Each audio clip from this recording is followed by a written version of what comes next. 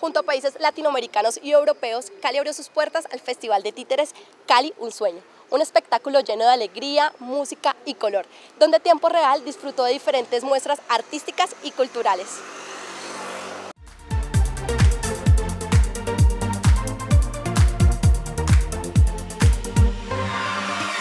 El títere es un muñeco que cobra vida y se vuelve un personaje dentro de una trama. Hoy vamos a aprender sobre el teatro de títeres porque nos encontramos en la decimoquinta versión del Festival Internacional de Títeres de Cali.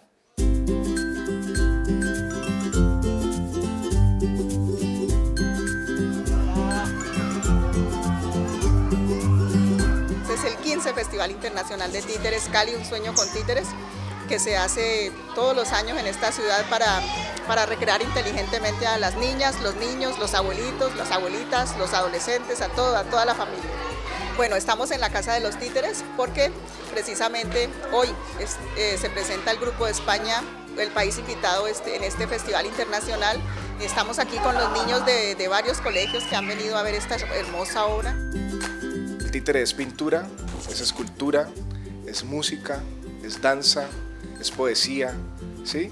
Entonces es un arte que abarca todas las artes. Entonces el niño al acercarse a esta posibilidad ya empieza en un camino hacia todo lo que es la propuesta artística, ¿sí?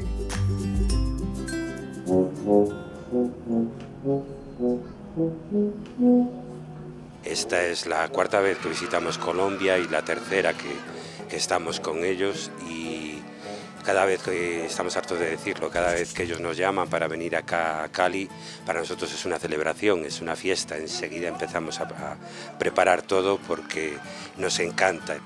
Se acercaron a nosotros y nosotros hicimos el esfuerzo por estar aquí eh, y acercarnos al público caleño, que es un público muy cariñoso, un público...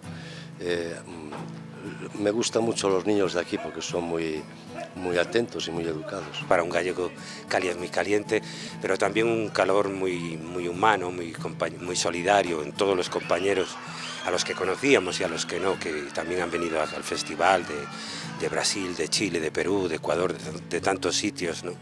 Y también muy caliente en la, en la respuesta del público.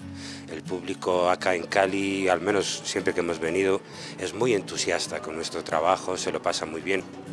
Poéticamente hablando, es una ventana que se abre desde los títeres del mundo para Cali. ¿sí? Es poder abrir y mirar esas dimensiones mágicas que hay en otros lugares y cómo se hacen esas magias, cómo, cómo se van mezclando esos ingredientes que dan eso que ustedes han podido ver, que hacen que los niños y la familia eh, logre vibrar y, viajar por el mundo. Eh, el domador de serpientes. ¿Y por qué? Porque él se podía sentar en esas cosas chuzosas y porque era divertido. Pues la magia de, consolidar un proyecto, ¿no? De que haya perseverado durante mucho tiempo. Es como la quinceañera de la casa, ¿no? Cuando le cumpleaños la hermanita uno, que uno ve que se convierte, da un paso más allá, ¿no? Y más ahora que la casa de los títeres ya cumplió 18 años, entonces la, la quinceañera y, la, y es mayor de edad también el lugar. Entonces es mágico y es bello es haber hecho parte de ese proceso desde hace tanto tiempo. Los apoyos cada vez se hacen más difíciles, los apoyos cada vez se rebajan y, y, bueno, hace falta, hace falta colaboración en ese sentido, pero vamos a ver, seguiremos luchando porque así sea. O sea, lo que yo espero a futuro del festival es que se vuelva un hecho de ciudad, que ya la gente lo incorpore completamente con pasión, porque impactamos a muchos lugares, vamos a los corregimientos, vamos a los barrios difíciles, eh, vamos a las bibliotecas, estamos aquí en la Casa de los Títeres, al Centro Cultural de Cali, vamos, pero todavía la gente no lo vive con esa pasión y queremos que sea un festival que sea algo parecido al, al Iberoamericano de pronto en Bogotá, que es una ciudad teatro. Esto que se vuelva Cali, un sueño con títeres, ¿sí? Esa es como la aspiración, que se concrete ese sueño.